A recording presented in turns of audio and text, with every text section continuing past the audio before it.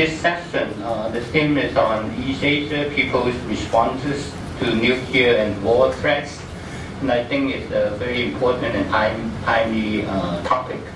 Uh, we uh, have originally we have six speakers uh, on this panel, but uh, due to some um, contingent event, Professor Wang, um, the plane haven't arrived yet, so. Um, he won't be able to uh, speak on that panel, but uh, he will join us in the afternoon session. And uh, Professor uh, Lee Jung uh, uh, she will speak in other panel and uh, in replace panelist position is Professor Lee Buyoung, also from Korea. Now we have two speakers from Japan, two from Korea, and one from mainland China.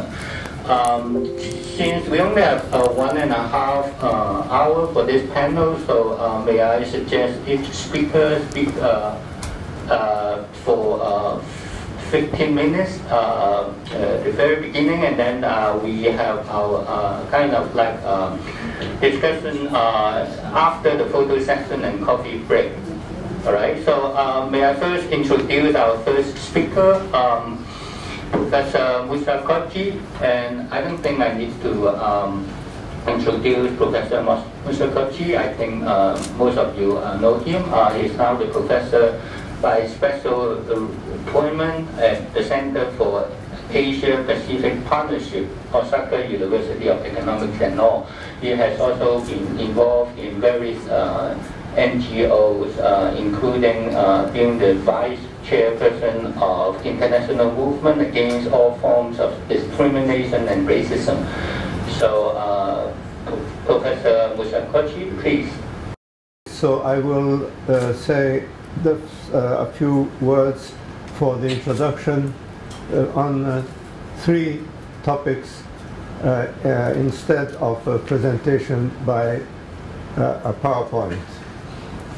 First, before starting my three points, I would like to present my thanks to the organizers um, uh, of having uh, allowed me to come.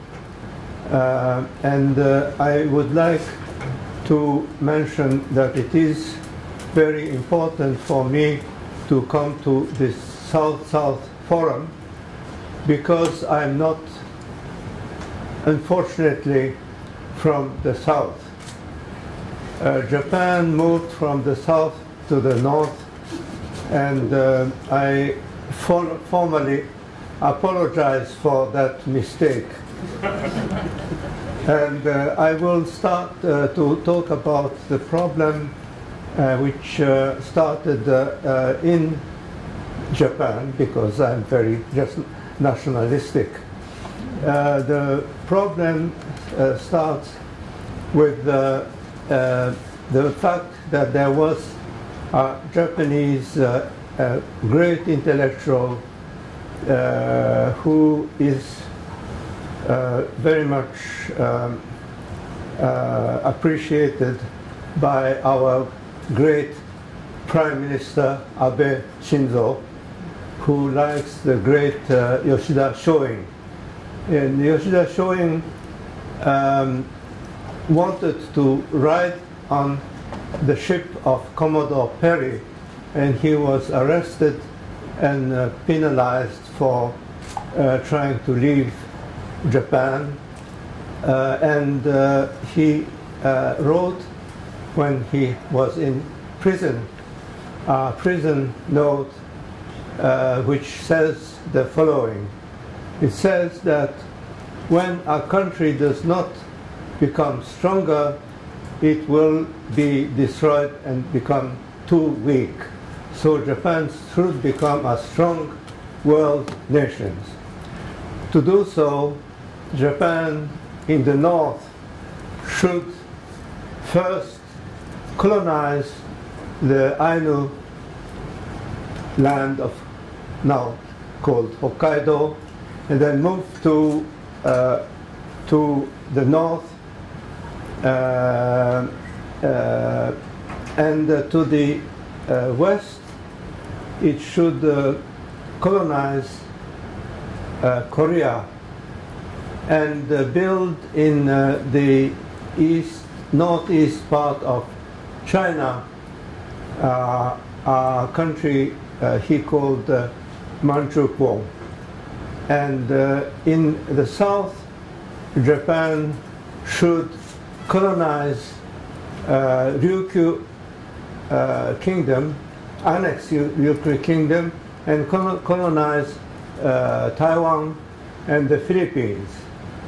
And actually, uh, Japan did all what uh, Yoshida Shoin proposed, and uh, unfortunately now uh, Abe Shinzo wants to ride or maybe just follow another American warship.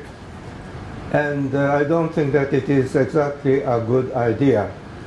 So my first point is uh, about the fact that Japan left the south and went to the north for a very bad reason and became more, uh, more harmful uh, colonizing uh, aggressor than Western aggressors.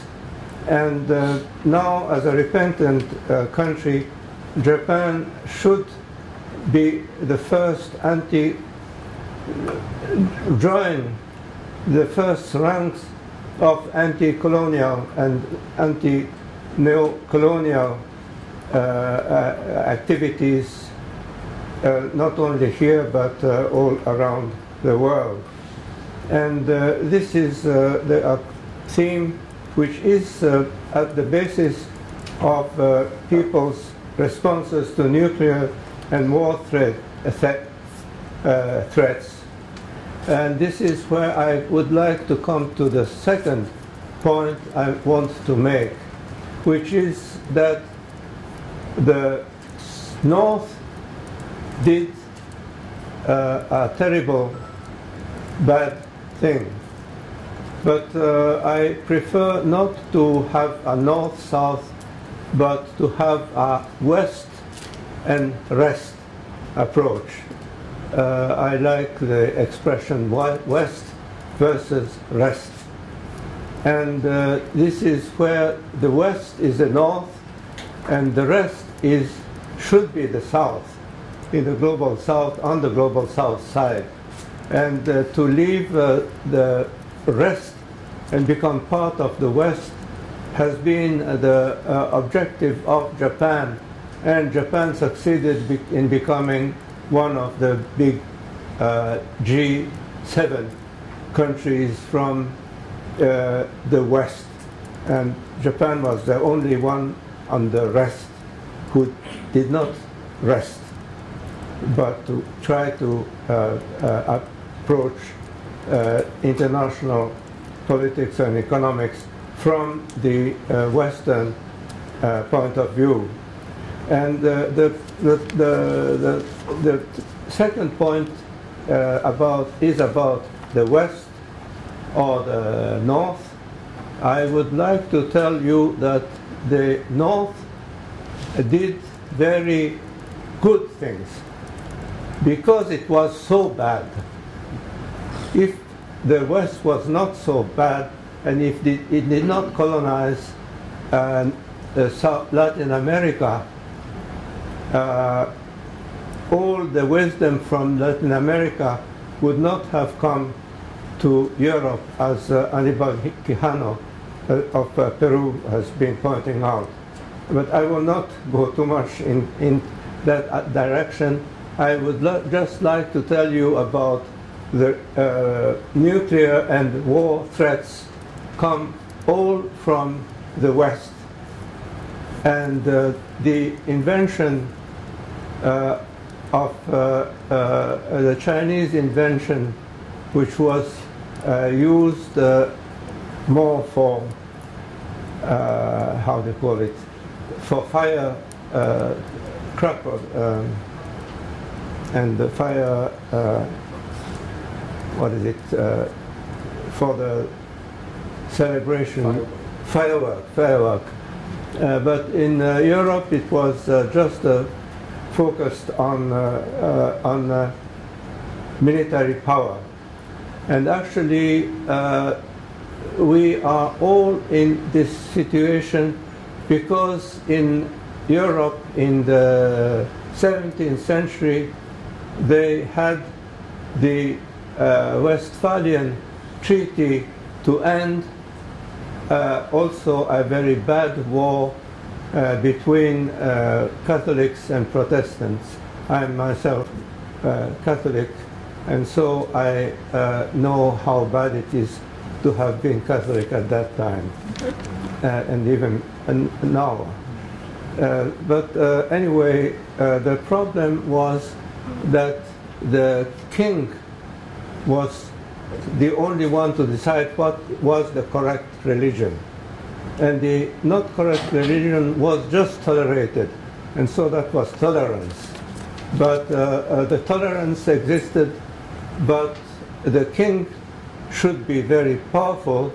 So he was, uh, because of the uh, uh, Catholic and uh, Protestant mutual terrorism, to eliminate all this terrorism, it was decided that uh, all the power to kill, the legitimate violence was to be monopolized by the king, which became uh, the state.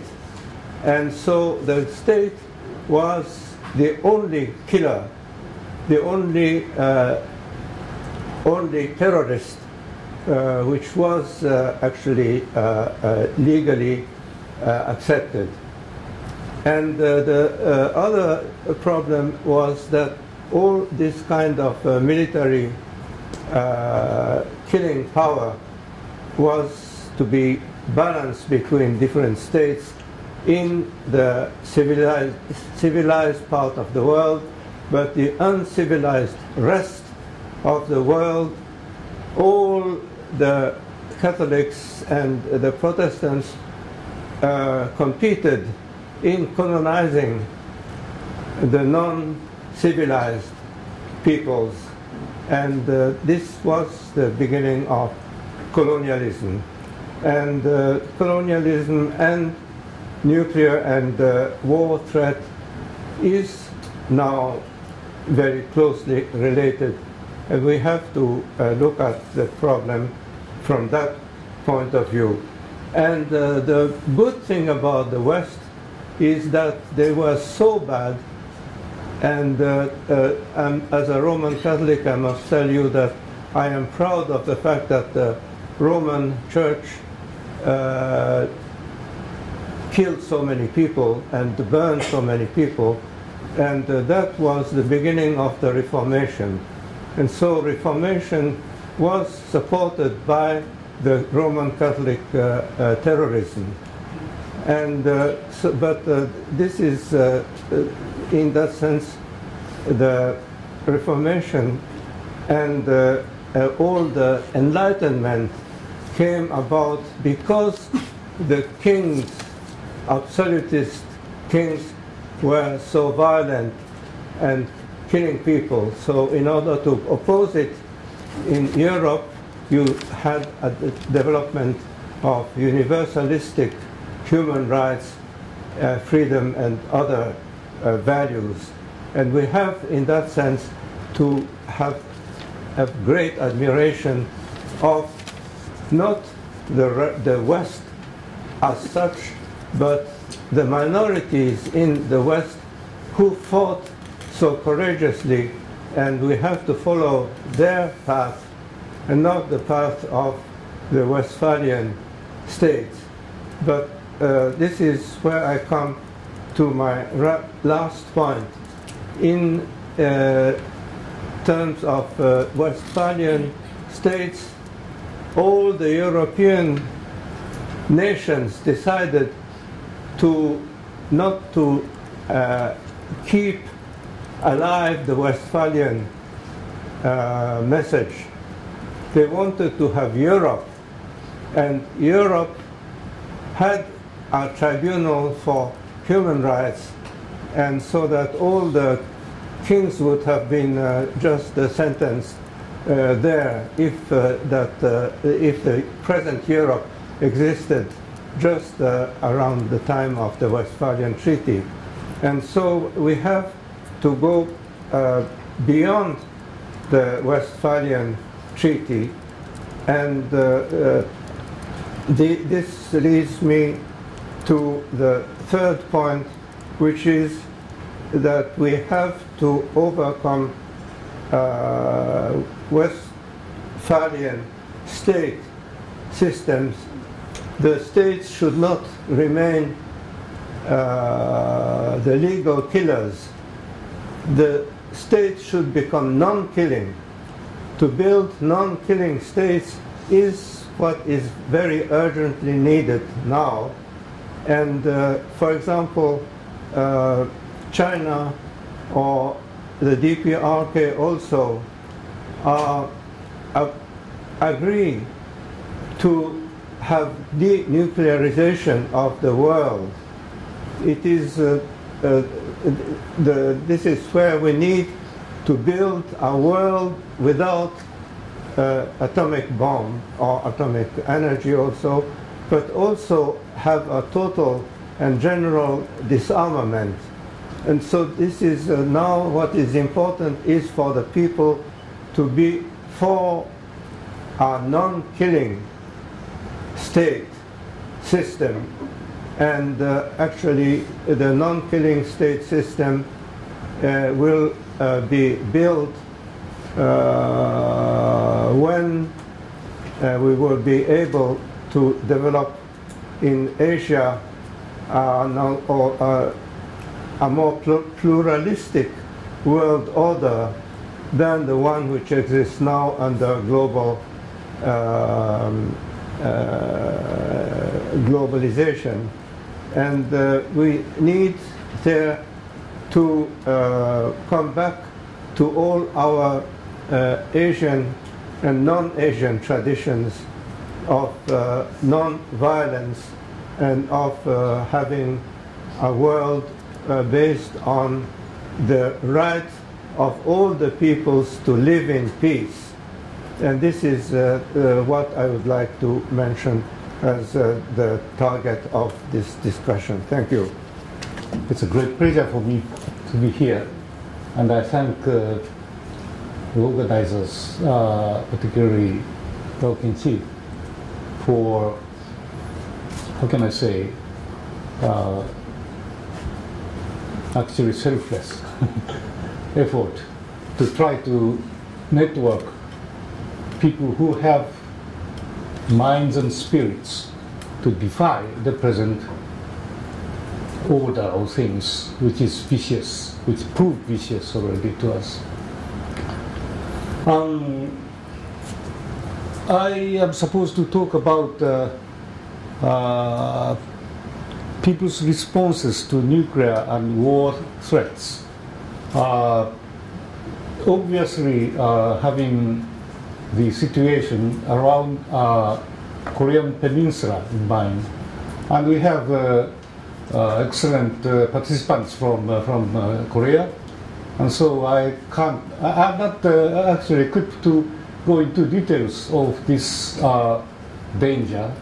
Uh, so uh, I will focus on, on, on one or two points uh, which may be hopefully relevant.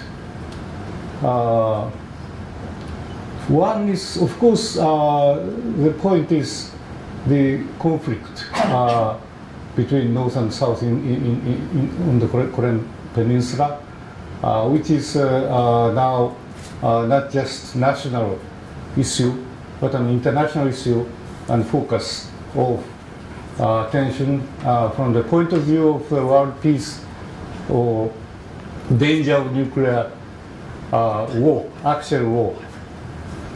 Uh, I think uh, this is very, very peculiar because the war started in 1950 and the firing of bombs and uh, bombardment uh, was stopped in 53 as in the form of, uh, of uh, I mean, uh, armistice agreement.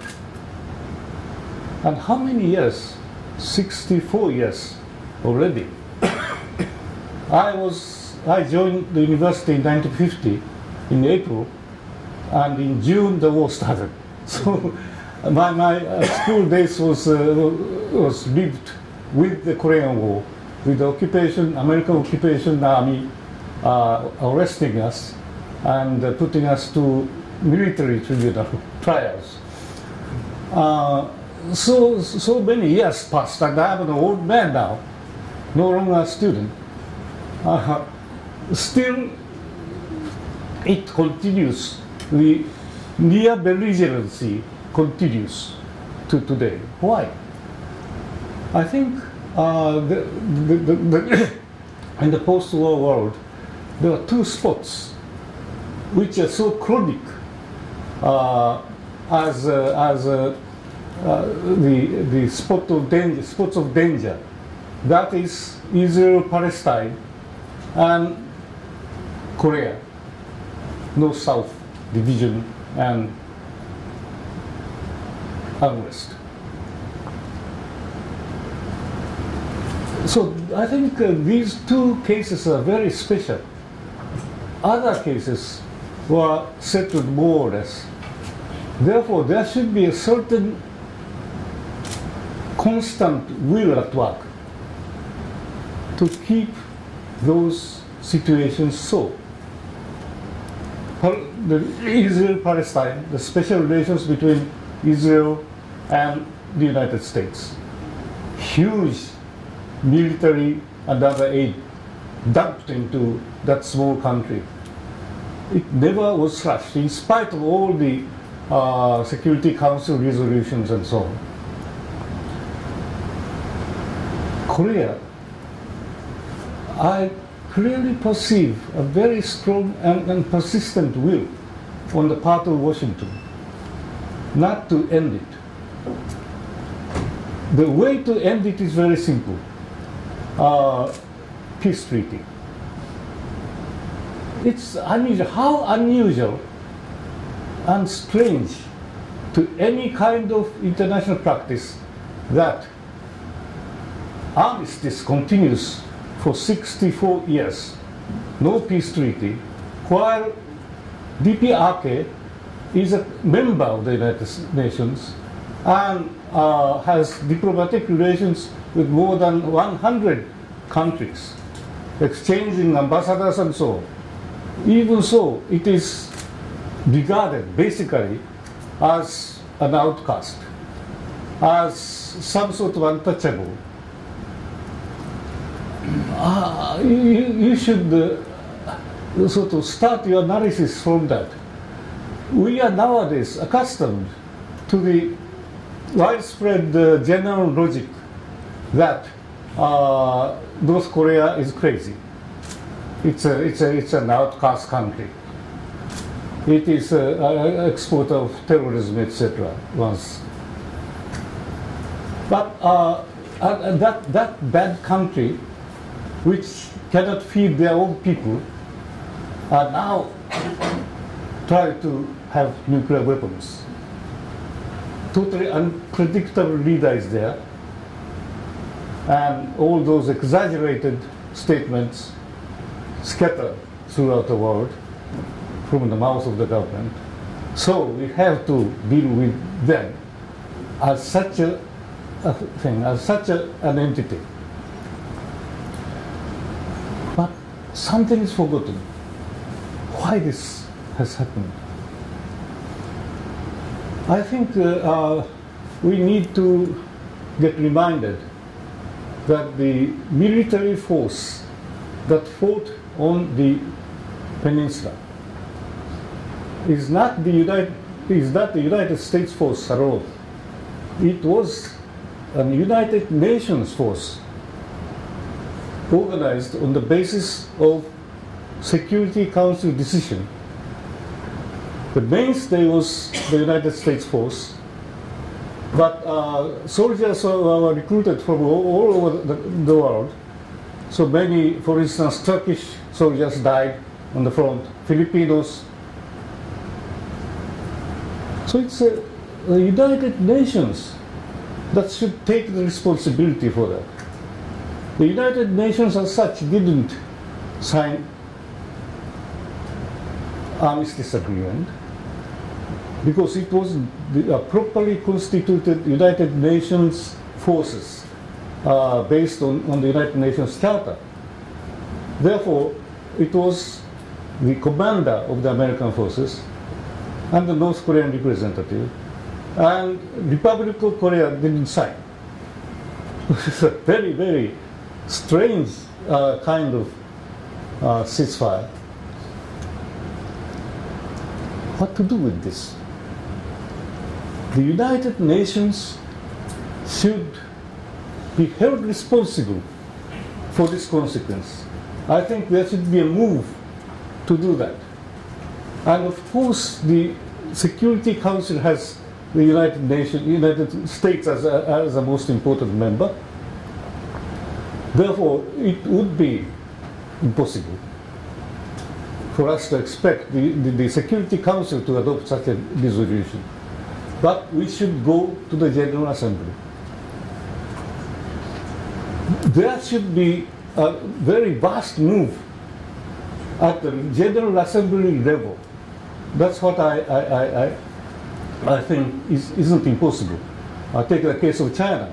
In spite of American refusal uh, for many, many years, the General, General Assembly resolutions worked, finally forcing the United States to change its policy. I think uh, uh, this kind of pressure should be built up in order to change the context in which Korean issue is seen. Otherwise, uh, it's, a, it's a sort of Uh, on, on, the basis of wrong assumptions that things are going on. The assumptions uh, I, I just mentioned. The, the, the North Korea is a bad guy. So how to chastise this bad guy? What will be most effective in order to, in order to force it to, to change its mind?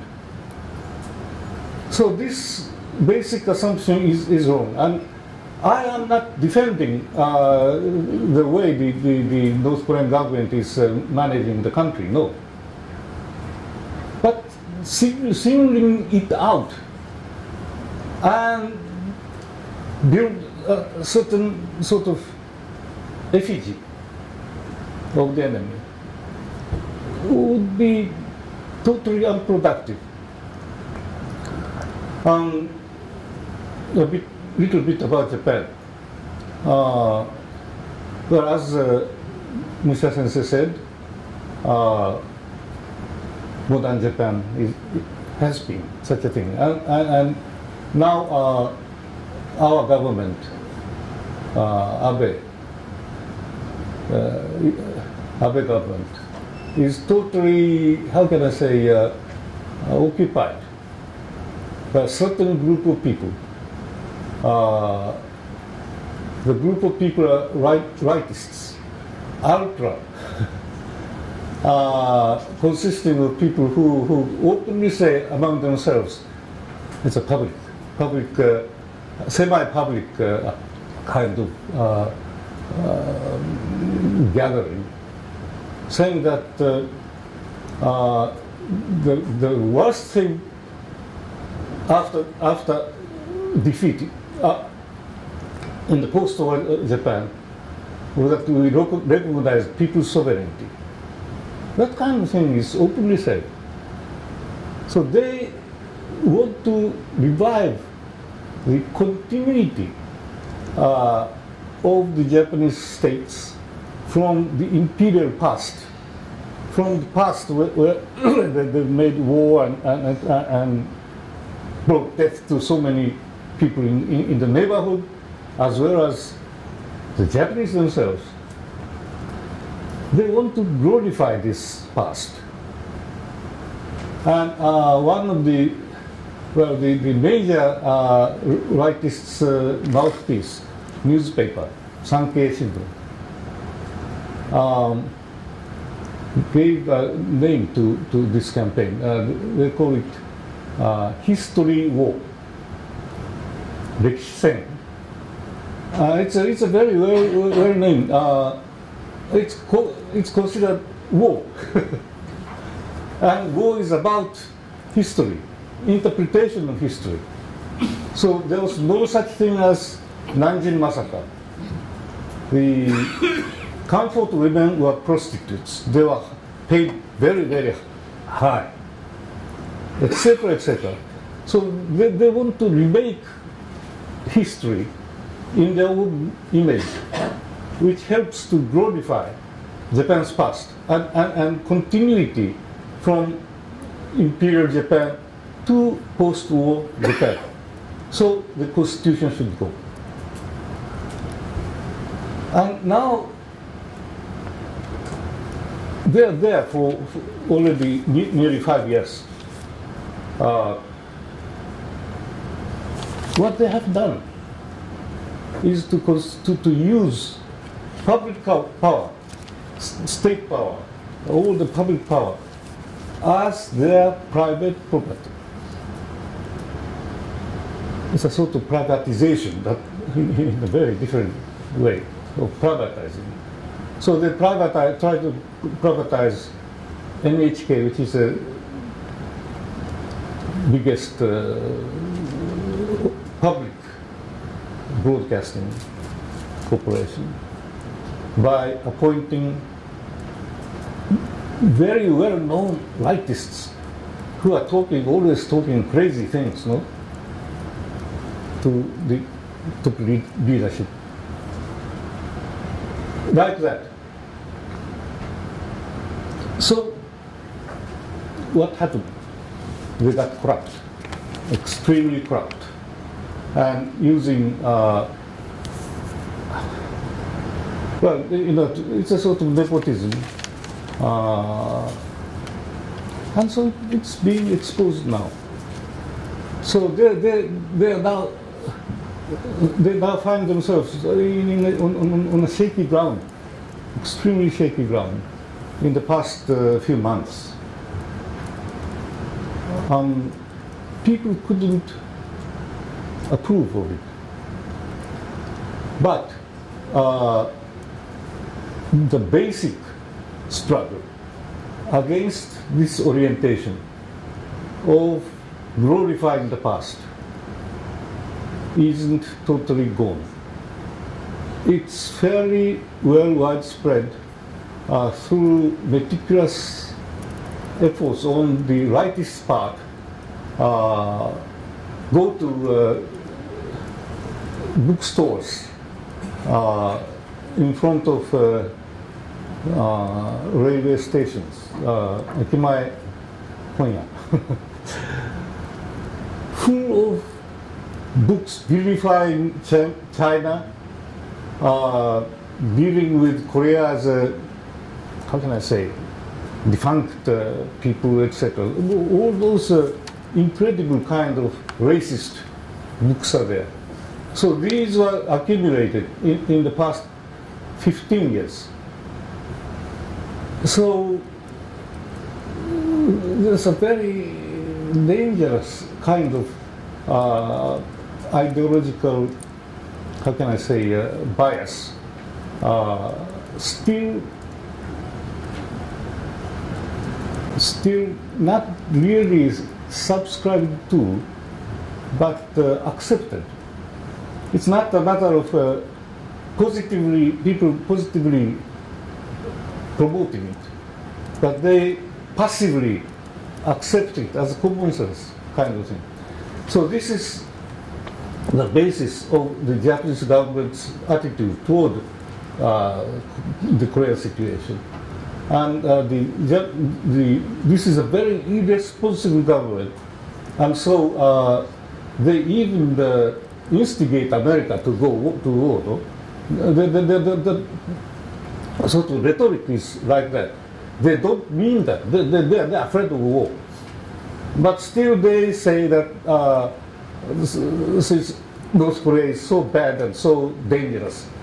Uh, no option should be rejected. This kind of thing is being said.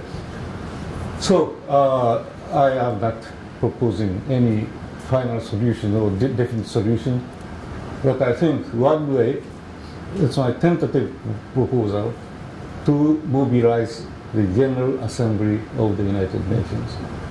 Thank you. Thank you very much, moderator. uh, actually, I'm very uh, delighted uh, to be invited to this uh, fourth South-South uh, Forum for Sustainability. Uh, since I belong to the first generation of ARENA, uh, I think I remember it has been already 35 years, early 1980s, I joined the first group of arena meeting like Murai Sang and Sri Chai. And I think Kinji was a young uh, scholar at the time, uh, at Tadem, and uh, still young, yes. Um, and uh, uh, I missed many uh, fellow meetings and South South forums because of my involvement in UNESCO work since 2000.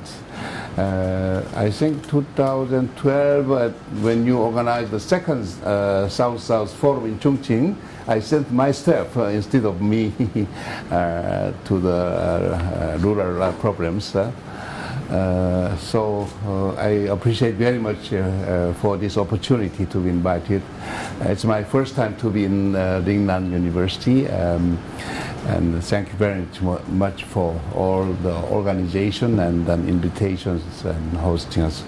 I myself have hosted uh, 20 years ago uh, in Soongsil University the arena meeting. Do, do you remember? Uh, 1997, Tadem was there, and Mushakoji, you were also there, and then which I have hosted. but as uh, uh, has just said, we are continuing the same topic from that time.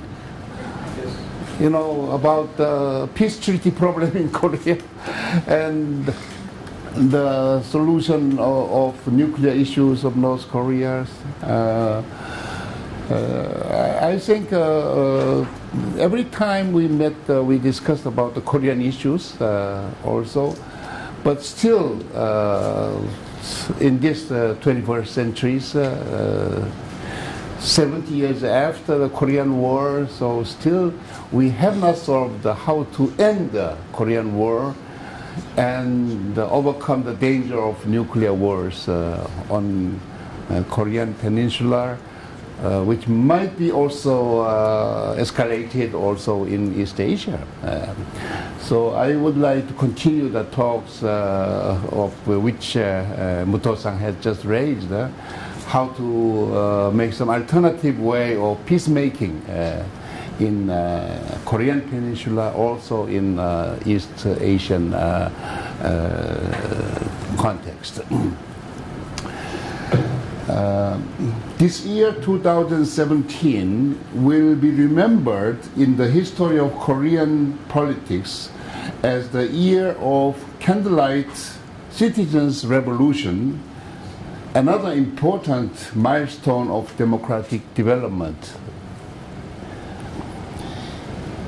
In the weekend rallies over five months uh, last winter, over 17 million people in accumulation from all ages, from elementary school children to serious uh, seniors over 80 years old, men and women, have participated in the demonstrations and shoutings for people's sovereignty, people's sovereignty and the liquidation of evil practices, corruptions, and illegalities that have finally impeached the present Park and toppled down the ultra conservative so called Princess Republic regimes.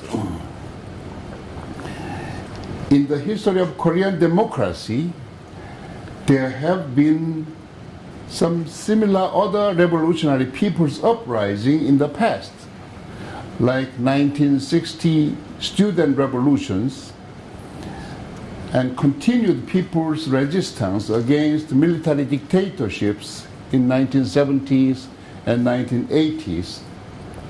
But they failed all to achieve democratic changes because of the counterattacks like military coups in 1961 and Gwangju massacres in 1980s. The democratization in 1987, just 30 years ago, was the result of the negotiation between the people's power and the military concessions. So that's why it could only settle the democratic order like people's direct election of president, but could not bring much substantial changes in social economic systems. Now, through the victory of people's power and non-violent candlelight demonstrations, the democratic government of President Moon Jae-in has been just established, who has promised to launch profound reform in economic, judicial administrations and improve the security policy through dialogue with North Korea to solve the nuclear problems. The tasks of reform to liquidate the evil practices and reconstruct the just democratic reasonable social system which the candlelight demonstrations have long time claimed and also the new president Moon Jae-in has promised to realize are very tremendous and very difficult tasks. And the ruling party has no majority seats in parliament. In this regard, the democratic government of Moon Jae-in will need to be supported by the civil society and people's movement further and very seriously in order to ac accomplish some results of reform and change. Otherwise, his reform plan could fail or could be not much successful because there are still big conservative powers of big business, bureaucracies, press and mass media, military, and also all the senior people. The most urgent and serious reform task is to prevent the danger of military conflict and possible war on the Korean Peninsula, which has been accelerated by the North Korean development of nuclear arms and missile technologies. And also, US Korean joint military exercises to decapitate Kim Jong un's head and attack the nuclear facility in North Korea. US President Donald Trump has warned already against Kim Jong un's North Korea with many different tones of speeches and words. Sometimes he said he will talk with Kim Jong un over the hamburger eating tables. But some other times he declared he will not continue the Obama's policy of strategic patience, but is ready to go into unilateral action to counter the North Korean nuclear and missile tests, which includes all kinds of options, not excluding preemptive attack into nuclear arms facility of North Korea.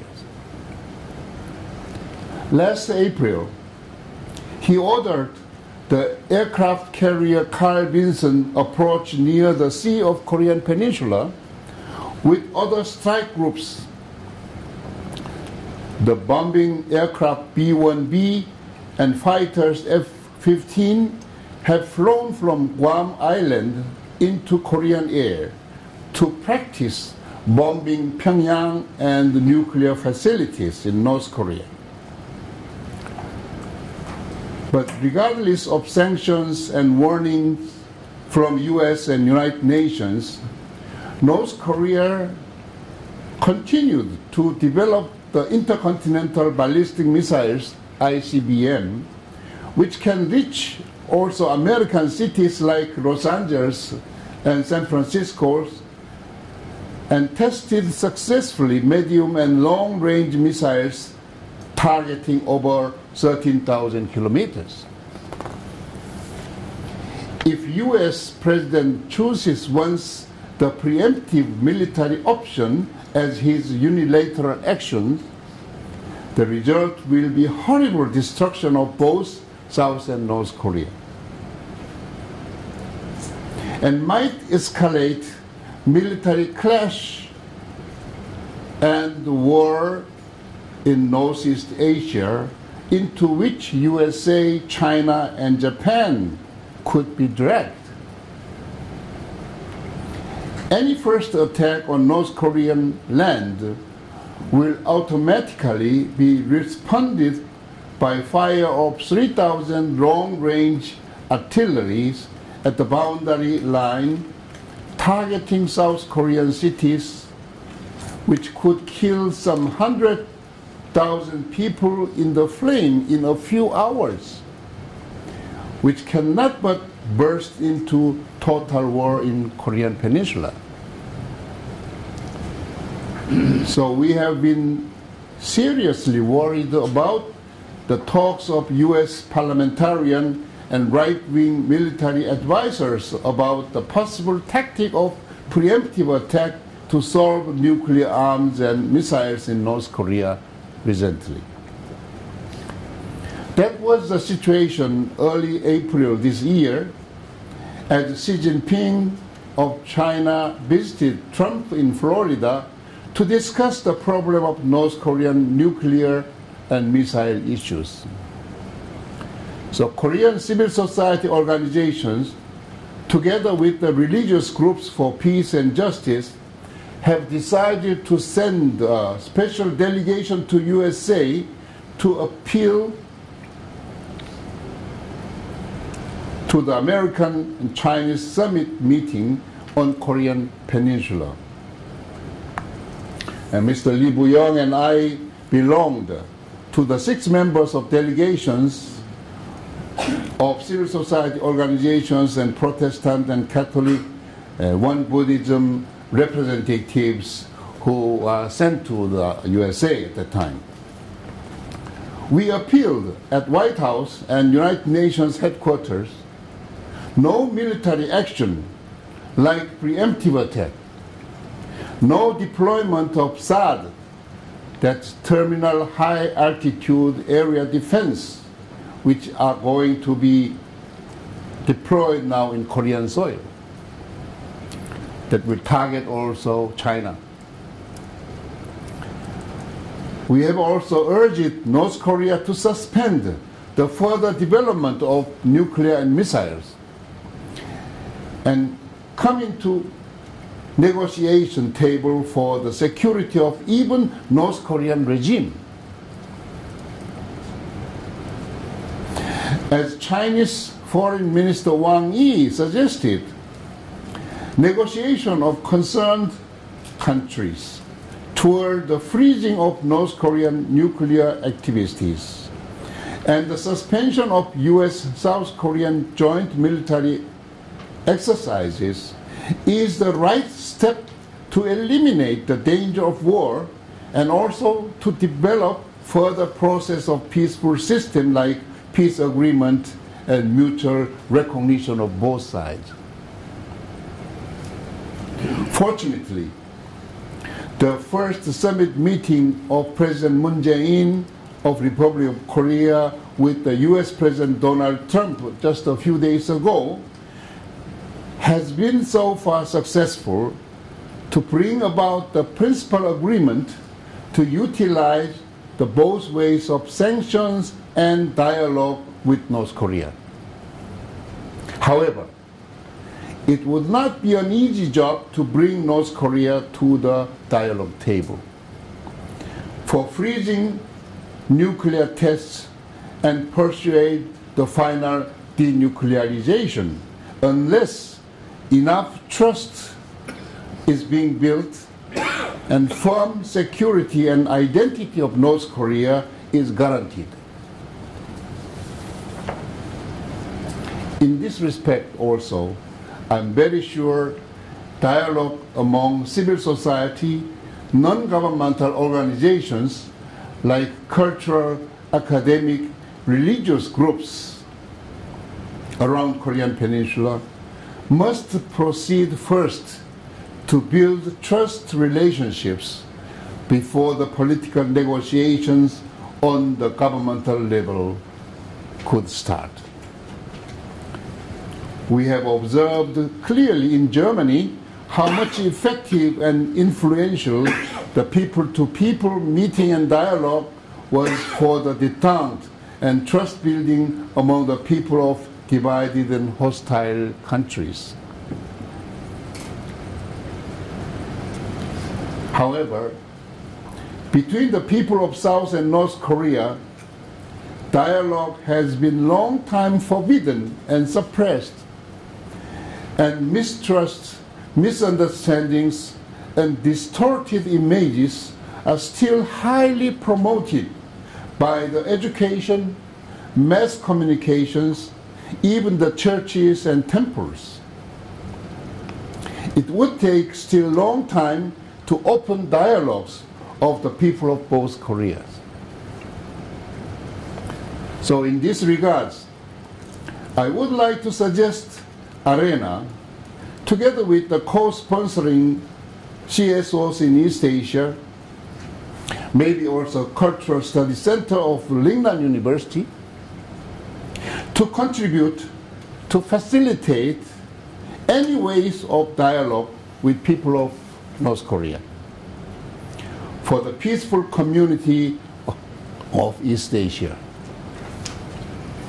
I hope this fourth South-South Forum on Sustainability will be the good opportunity to think of East Asian Conference of Common Security and Cooperation like CSCE in Europe to avoid military confrontation and nuclear new war and to build the peaceful community in East Asia. Thank you very much. Thank you, moderator. Uh, I, I was invited by this forum, but uh, I did not have to prepare the paper to uh, here. But uh, Professor Lee Jong-oh uh, uh, gave me the chance to express my views uh, on this topic. Uh, it is my honor and privilege to speak in front of you, gentlemen and ladies.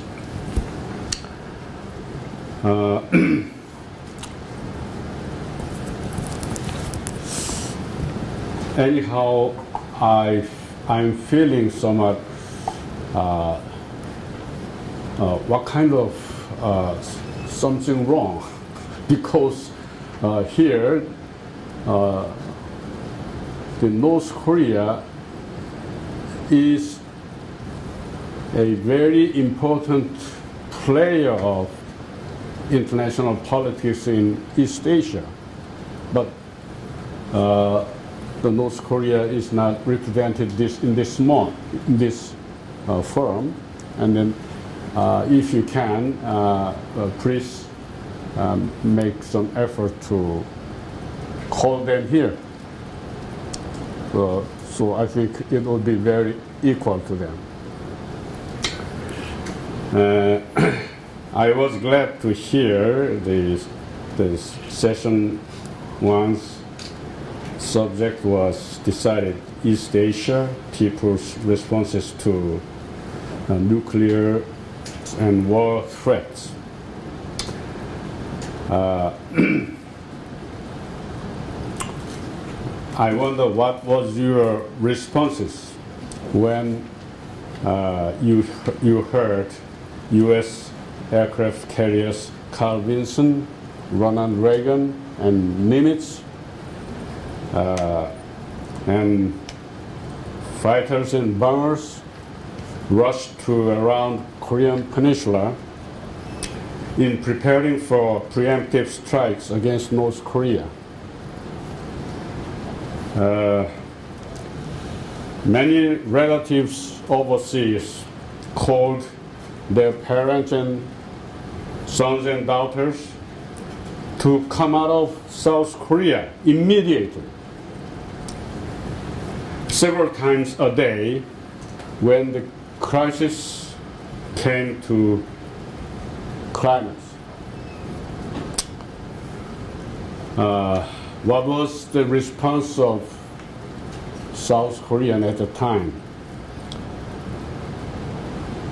Just don't worry about it. Can you understand it?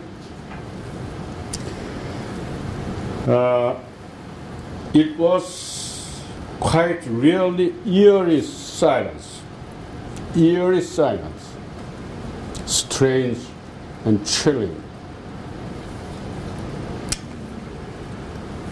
Uh, South Koreans think they have been living in the big island surrounded by three seas and one DMZ, demilitarized zone. There is no way out from its, this island.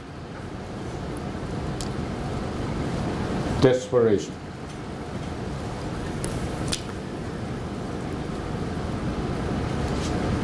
It seems likely that they were screaming with eerie silence. The North Korea and United States have been playing war games with taking South Koreans hostage. However, South Koreans began to show their own non-violent disobedience with a unprecedented scene of human way.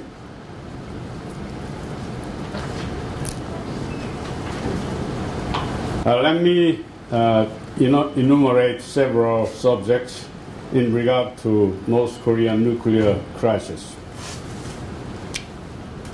Uh, I hope this will not be uh, repeated uh, because you already mentioned uh, Dr. Lee.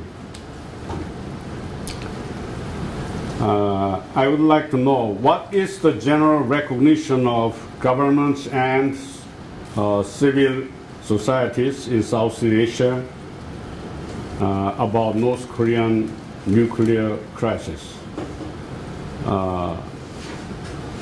Most of intellectuals and civil society understand the reality of the crisis, but uh, the general public, do they understand this crisis are connected with their lives directly?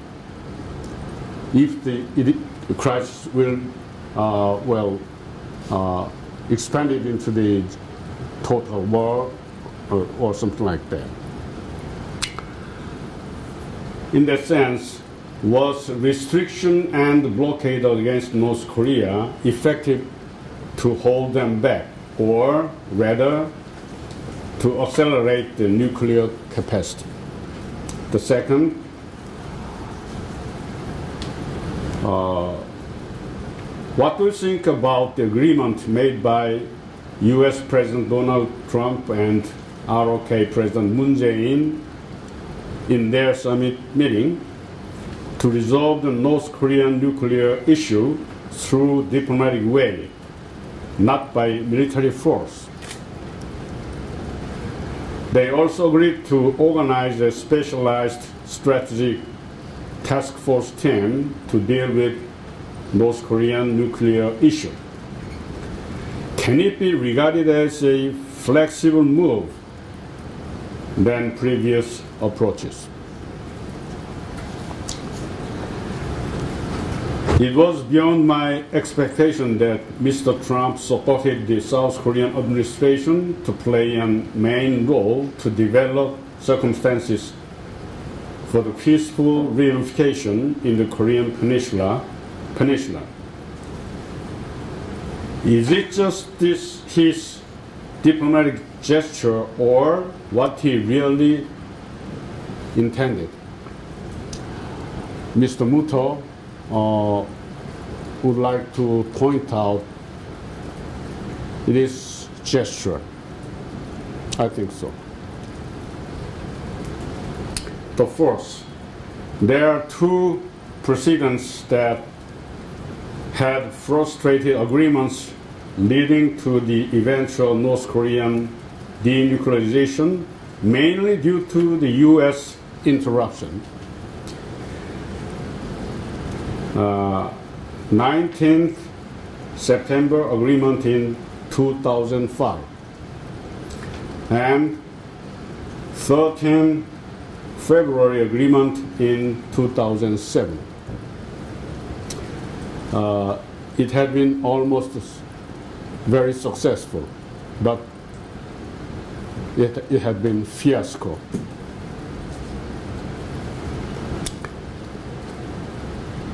The nuclearization, the denuclearization of the Korean Peninsula requires the transition from armistice to peace agreement, as Professor Muto pointed out.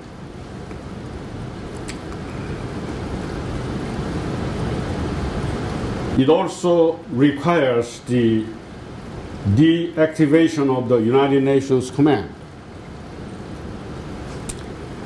Since the U.S. military force can stay in Korea under the United Nations command, this process will lead to withdrawal of U.S. forces in South Korea. Would the U.S. military concede to the process?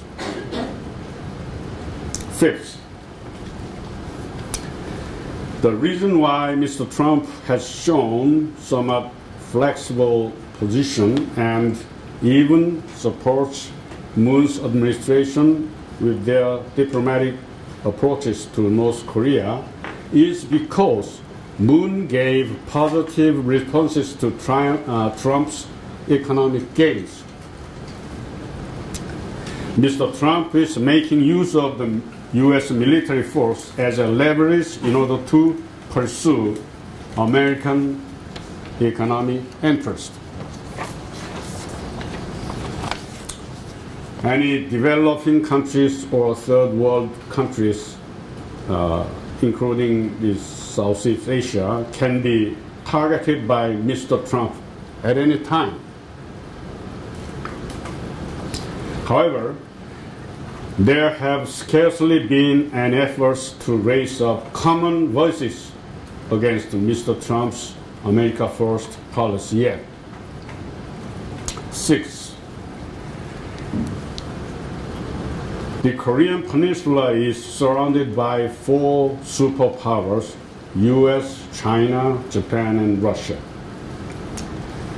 It seems like Korean Peninsula politically isolated by those countries from rest of the world. Are these Southeast Asian countries, are those Southeastern countries able to stretch their hands to North and South Koreas to be peaceful partners and regional neighborhood? Seventh, uh, this is the internal problem of South Korea. You might have heard or been interested in current Korean citizens' candlelight demonstration during the last winter. It was followed by impeachment and arrest of former President Park Geun-hye. I would like to raise a grave internal question in South Korea. There is a serious cleavage between 80% candlelight supporters and less than 20% ultra right conservatives. Candlelight citizens are mainly composed of young and under middle class. Vested interest groups of less than 10% ultra conservatives own means of production, including mass media and intellectual, intellectual networks. Leaders of those groups have backgrounds of American education. Even though the regime would change, the landscape of the South Korea would be still sticking to the past that had been mapped by United States. This is the dilemma South Korea faces with. As same as the rest of Southeast Asian countries, still South Korean ruling class influenced by US will not be changed. And we will have to figure out the way to resolve the social issue. Thank you very much. Thank you. Uh, first of all, thank you very much for uh, uh, and uh, this uh, forum to invite me here. But sorry, I'm not uh, really an uh, expert on Northeast Asia, but uh, since Jianzhi suggests me to talk about the topic, so I somehow gather some information and I present some of my observation on this issue. huh? Mm. Well, uh, you know, uh, recently there, uh, the situation in, in, in around uh, uh, Korean Peninsula is uh, pretty tense, as uh, everybody knows. And, uh, you know, people are worried that it could uh, be escalated into a real war. Uh, like the previous speaker talked about it, that will be uh, very much a disaster for the countries in that region, and perhaps even worse. But anyway, so far we have seen, you know, several parties uh, try to work something out, uh, perhaps in order to avoid that. That kind of uh, consequences. But uh, what comes to China is that, uh, of course, uh, I would say that China always uh, saying, you know, it has uh, three principles on this issue. You know, every time if you ask the government, and they will repeat this. The first one is uh, denuclearization of the uh, Korean Peninsula. The second is uh, the uh, uh, peace and uh, stability in the Korean Peninsula. And the third is uh, to settle all the issues through dialogue and consultation. You know, that's, I think people probably all know that's uh, the official position there. And it also said that, no, this, the, the one of the action is that uh, the end of last year, the UN passed a resolution to impose sanctions against uh, DPRK. and China actually voted for it and actually has taken uh, action to implement that. The most obvious action is that uh, China decided to stop import coal from DPRK. And uh, you know, I think maybe it's not a big deal, but uh, for DPRK, I think it is a big deal because uh, you know according to some some uh, information, that uh, DPRK's foreign foreign trade are mostly uh, done with China, and uh, of those foreign trade or the DPRK's uh, export, coal export uh, is very important. Is how much is that? 40% or something, or even more than that. So even though you know people claim that uh, the uh, sanctions is uh, just uh, targeting you know North Koreans, uh, you know testing nuclear test, nuclear and missile test, not to affect the people's living, but you know just think about it. I doubt that that's going to be the case. But nevertheless, UN, you know, passed that resolution, right? Uh, but uh, then the Chinese uh, official position also is that uh, they say uh, this issue, you know, we are not the one that directly involved. We are not the directly concerned party in this. Who are the directly involved party. One is DPRK, another is the United States. Uh, but I am very much agree with uh, Muto said. Actually, uh, when we think deeper into this issue, I think uh, actually it's not even, you know, DPRK or the US, there's two parties. I think uh, the core issue is the United States.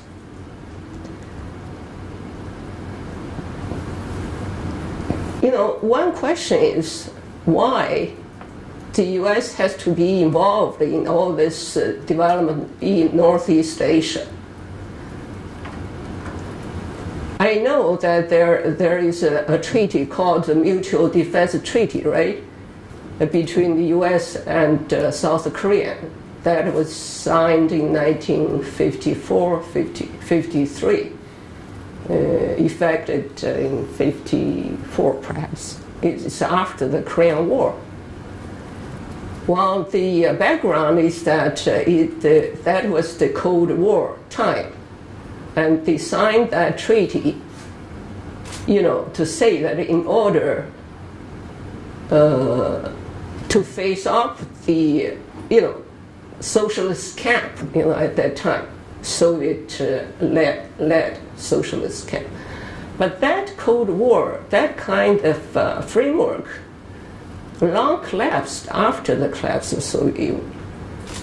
But uh, you know the consequences, you know this kind of is Cold War order still very much alive not only actually in, in Northeast Asia, but also in, in, in Europe with the NATO expansion. What's the reason? And for all of this, U.S. is the is leading all this thing. You know, for me, I can think of only that the the all this uh, what is that is that the U.S very much want to keep it uh, world hegemony and uh, try to control the situation everywhere. You just think about, of course, you know, lots of people are against, uh, you know, North, uh, uh DPRK to have nuclear weapons. But if you put yourself into their shoes, you think about you know, they are worried about that uh, DPRK will have a new nuclear capacity that can reach California, Los Angeles, but the U.S. nuclear weapon can reach everywhere. All these years, why nobody raised that question? Uh, shouldn't uh, other countries be concerned about that, or they just have to take what it is? They can be threatened, but they cannot re- react to that. I don't understand what kind of justification is that. And the whole world, so-called community, it just uh, ignore that. Pret- I don't know whether it's pretending or really they think that way. DPRK's action, I think, is very, very much is a response to the U.S. aggressive policies towards it. You think about, you know, DPRK is not very much developed country, right? It can better use resources for, for improving their living standard, promote their development. They have, you know, much more, you know, better use of their resources. Why they do that? There is a big reason there. Another one is, I think, uh, of course, according to this mutual defense treaty, U.S. has, you know, has the right to station their land, sea, and air army in South Korea. And South Korea has to accept that. I also wonder, you know, South Korea or also Japan, they all now become a developed country already, right? And they cannot defend themselves. Why do they need a U.S. military presence there? In the name of what? To defend the country? From what? It, it, you know, the whole thing, when I think about this, I think that there are a lot of issues uh, that are not very much talked about publicly. But actually, it is all these things that uh, really, when you dig up those things, I think it, it could be clear, you know, what are the causes of all these tensions. I think the U.S. pursued the policies that is something I would call it perhaps international totalitarianism. I've smiling mentioned, but anyway, this is that uh, I am the one that should control everything. You know, every country should just do what I want you to do. If not, I have this, I have that means to punish you. Well, what irony is that the US also promoting the so-called universal idea all over the world. You know, democracy, human rights, and you suppose, you know, you, you, you're supposed to be you know, of people, by the people, for the people, let people decide. But when it comes to international relations, why you don't let the other country decide their own fate? I think it's, uh, I don't know. No, but anyway, when it comes to the United Nations, of course, I also agree with Smuta that, uh, but the reality is, maybe United Nations tried, right? But because it has so many countries as members, to be kind of uh, neutral. But in, in, in a lot of cases, I found actually it is very difficult. And, uh, you know, the US was, I don't know, I haven't checked. It's US was never condemned by the United Nations resolution or anything. You know, it's only that, uh, you know, other countries you know, being imposed uh, by the sanctions. But is any any time the U.S. is sanctioned by any other countries, you know, think about that. This this total world order is so unfair. You know, it's it's just whoever has the power and the rich and the powerful control. It applies to lots of countries but so far, I think this implies also in the international order that we have today. I think those are the problem we really have to face. Thank you.